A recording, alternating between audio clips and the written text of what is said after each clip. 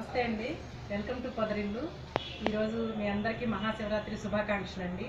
ఈరోజు Mahashivratri night eleven అవుతుంది. మా బాబా వాళ్ళ ఫ్రెండ్ వాళ్ళు వాళ్ళ ఇంట్లో పార్వతీ పరమేశ్వర్ల కళ్యాణం చేస్తారు. వాళ్ళు ప్రతి సంవత్సరం చేస్తారండి. నేను ఆల్రెడీ ఒక సంవత్సరం చూశాను. ఈ సంవత్సరం కూడా వెళ్తున్నాను. మీరందరూ కూడా నాతో పాటు వచ్చి పార్వతీ పరమేశ్వర్ల కళ్యాణం చూసి అందరూ ఆ భగవంతుని ఆశీస్సుని పొందుదామండి. వెళ్దాం మరి. పదండి. చెప్పాను కదండి వీళ్ళు వాళ్ళ ఇంటి ముందే చేస్తారనమాట మనం పార్వతీ పరమేశ్వర కళ్యాణం అంటే జనరల్గా ఏంటంటే గుళ్ళల్లో చేస్తారు అని అనుకుంటాం కదా గుళ్ళల్లోనే చేస్తారు.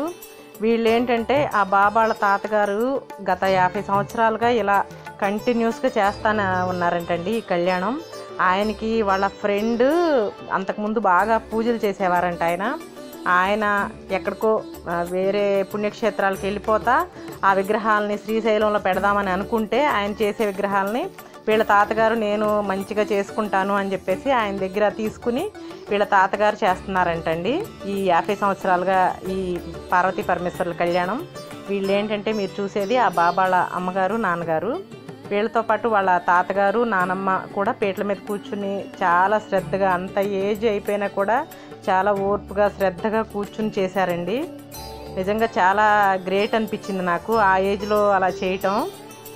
దానికి తోడు ఏంటంటే ఇంట్లో ఉండి ఇలా ఇవన్నీ చేయాలంటే ఇన్ని సంవత్సరాలుగా ఇలా మెయింటైన్ చేయాలంటే చాలా ఓర్పు కావాలండి. వాళ్ళు ఏంటంటే వాళ్ళ నాన్నమ్మ గారిని నేను అడిగితే ఆవిడ ఏమంటున్నారంటే మాకేమీ వేదాలు అవి ఏమీ మేము చదువుకోలేదమ్మా మాకు ఈ శాస్త్రాలు కూడా తెలియదు మేమేంటంటే ఆ భగవంతుడిని చాలా ప్రేమగా శ్రద్ధగా ఇన్ని సంవత్సరాల నుంచి కొలుచుకుంటూ వస్తున్నాము. అలాగే మా ఇంట్లోనే ఆయనకి కళ్యాణం చేస్తున్నాము. ఇంట్లో పెళ్ళి జరిగినట్టే చేస్తున్నామమ్మా మాకు ఏ కష్టం వచ్చినా ఆయనే చూస్తున్నారు ఇన్ని సంవత్సరాల నుంచి అని చెప్పేసి ఆవిడ అసలు చాలా ఎమోషనల్గా చెప్పారు. మాకు చూసే వాళ్ళకి కూడా అలానే అనిపించిందండి. ఇంటి చెప్పాను కదా నేను పాతకాలంలో ఇంటి ముందు చేసేవాళ్ళు కదా పెళ్ళిళ్ళు.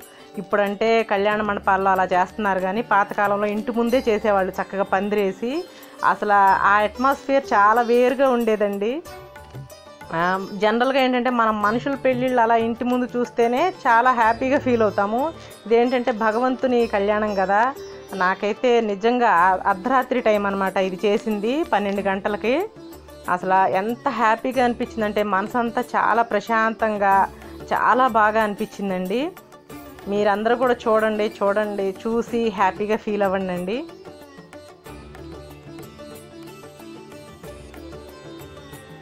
చక్కగా వాళ్ళ బంధువులందరినీ నిజంగా పెళ్ళికి ఎలా పిలుచుకుంటారో అలా అందరినీ పిలుచుకుని ఐదు రోజులు ఆరు రోజులు చేస్తారంటండి ఈ అన్ని కార్యక్రమాలన్నీ. పెళ్ళి కొడుకుని చేయటం తర్వాత పవళింపు సేవ ఇవన్నీ ఉంటాయంట. కాకపోతే నేను అవన్నీ ఏం అటెండ్ అవ్వలేదులేండి. ఈ కళ్యాణానికి ఒక్కదానికి అటెండ్ అయ్యాను. ఇగో చూశారు కదా వాళ్ళ తాతగారు వాళ్ళ నాన్నమ్మగారు అనమాట వాళ్ళ ఇంట్లో వాళ్ళందరి పేర్లు కూడా శివుడి మీదే వచ్చేటట్టు ఉంటాయండి. ఆ బాబు పేరేమో శంకర్ వాళ్ళ చెల్లి పేరు దాక్షాయణి అలా అనమాట అన్నీ శివుడు పార్వతుల పేర్లు కలిసి వచ్చేటట్టు ఉంటాయి.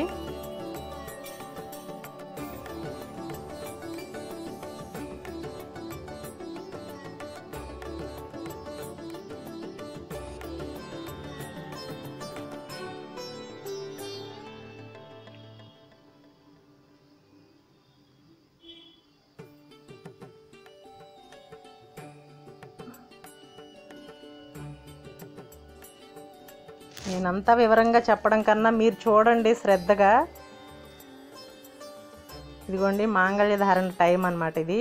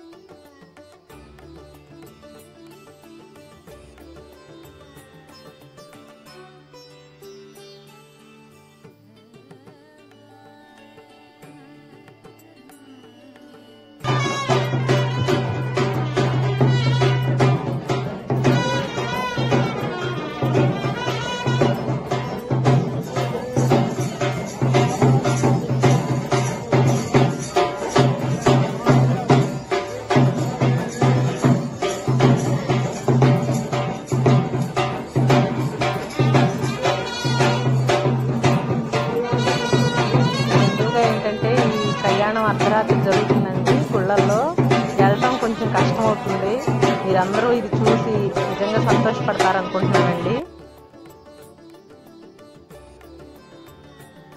ఇదిగోండి తలంబ్రాల టైం అన్నమాట.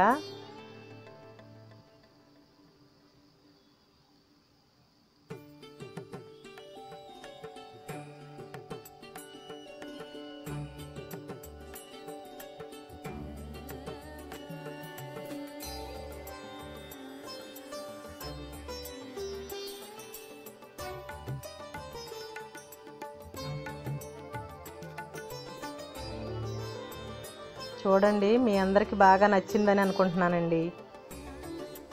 చూసి ఎవరైనా సరే హ్యాపీగా ఫీల్ అయితే నాకు కామెంట్ సెక్షన్లో తప్పకుండా చెప్పండి.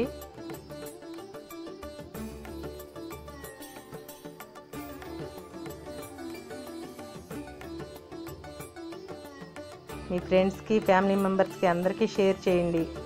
ఆ పర్ ఆ పరమేశ్వరుని ఆశీస్సులు మనందరి మీద ఉండాలని కోరుకుంటూ థ్యాంక్ యూ ఫర్ వాచింగ్ అండి.